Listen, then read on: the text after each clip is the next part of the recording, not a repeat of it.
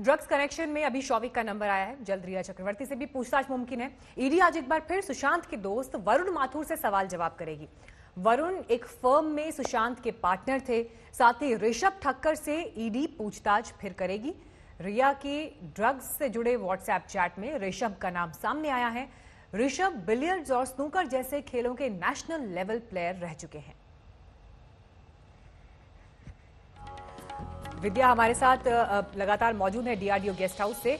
विद्या, देखिए, अभी तक सीबीआई को हत्या को लेकर कोई सबूत नहीं मिले हैं, लेकिन ड्रग्स को लेकर जो एक के बाद एक, ये नए किरदार, नए चेहरे सामने आ रहे हैं। ये मामला इस वक्त ज़्यादा गंभीर दिखाई देता है क्योंकि सवाल ये भी है कि अगर सुशांत सिंह राजपूत मानसिक तौर पर बीमार थे जिस तरह का दावा किया जा रहा है तो भी अगर उन्हें ड्रग्स दिया जा रहा था उनके इर्द गिर्द जो सर्कल मौजूद था वो ड्रग्स ले रहा था तो यकीनन ये कई लोगों के ऊपर सवाल खड़े करता है और ये जो चेहरे इस वक्त दिखाई दे रहे हैं कैसे नार्कोटिक्स का इन्वेस्टिगेशन इन, इनको लेकर आगे बढ़ने वाला है ये भी बताएँ।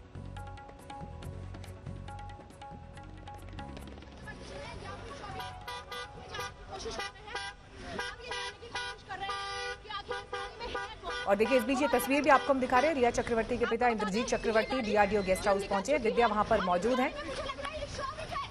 इंद्रजीत चक्रवर्ती ने को सीबीआई ने आज फिर बुलाया। ये तीसरा दिन है इंद्रजीत चक्रवर्ती से पूछताछ का। हालाँकि इससे पहले जो दो दिन पूछताछ हुई, उसमें रिया चक्रवर्ती की माँ संध्या चक्रवर्ती को भी बुलाया गया था।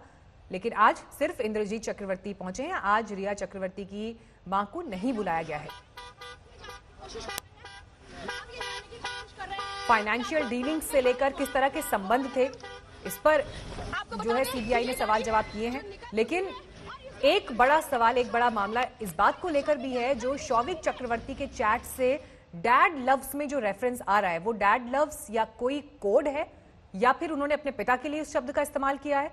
ये अभी इन्वेस्टिगेटिव एजेंसीज इस पर भी नज़र रखे हुए हैं और यही वजह है कि इंद्रजीत चक्रवर्ती को भी लगातार ग्रिल किया जा रहा है, जिस बात का जिस बात के, जिस बात का ज़िक्र विद्या भी कुछ देर पहले कर रही थी। तो इंद्रजीत चक्रवर्ती को आज फिर सीबीआई ने तलब किया है। विद्या, कितना समय और रिया के पिता इंद्रजीत चक्रवर्ती को वहाँ पहुँचने के लिए? अ, रिया के पिता को यहाँ पहुँचने में तकरीबन 20-25 मिनट लगेंगे।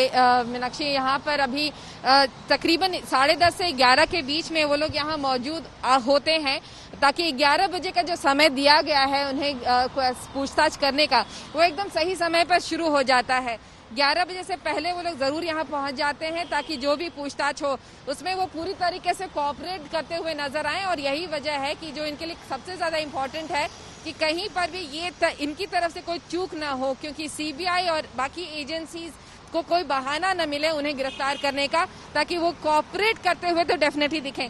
यहाँ पर उनसे पिता से जो पूछताछ होगी वो कई मायनों में काफ़ी अहम है क्योंकि याद रखें पिता का जो एक हस्तक्षेप था परिवार में खास तौर से रिया और सुशांत के बीच में उनके फाइनेंशियल ट्रांजैक्शंस को लेकर वो आखिर कितना था क्या सिर्फ़ वो गाइड कर रहे थे या फिर उन्होंने और भी ज़्यादा कुछ ट्रांजैक्शंस हुए थे?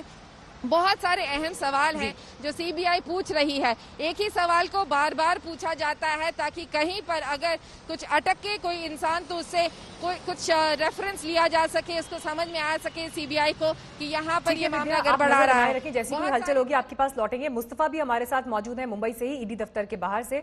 मुस्तफ़ा देखिए आज शौविक चक्रवर्ती से पूछताछ कर रही है ईडी।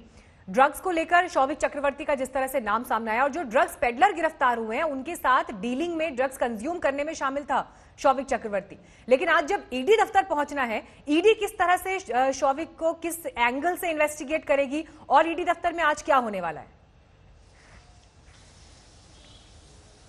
जी, पहली बात तो यह है कि एनफोर्समेंट डायरेक्टरेट ही वो एजेंसी है जिन्होंने इस पूरे केस में ड्रग्स का एंगल सामने लाया है। रिया चक्रवर्ती का फ़ोन जिन्होंने क्लोन कर कर ये व्हाट्सएप चैट्स निकाला जिसमें एक ग्रुप सामने आया जिसमें ड्रग्स की बातें हो रही हैं। एनफोर्समेंट डायरेक्टरेट के पास जब आज शौविक चक्रवर्ती पहुँचते हैं तो ये जो एंगल होगा फाइनेंशियल एंगल नहीं होते हुए ये होगा कि गौरव आर्या के साथ एनफोर्समेंट डायरेक्टरेट ने जो भी पूछताछ की है, उनके रिश्ते गौरव आर्या के, रिया के साथ कैसे थे, उसके बाद शौविक चक्रवर्ती का जो नाम, दो पेडलर्स जिनको एनसीबी ने अरेस्ट किया है है उन्होंने लिया है कि हमने शौविक चक्रवर्ती को ड्रग्स प्रोवाइड किए हैं।